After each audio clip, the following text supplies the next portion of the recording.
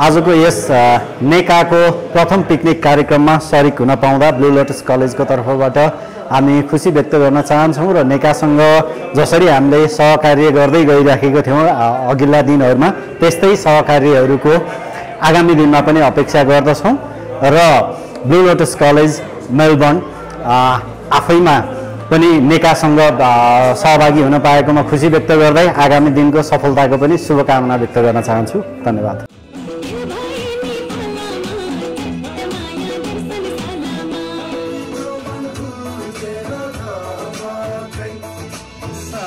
ليلة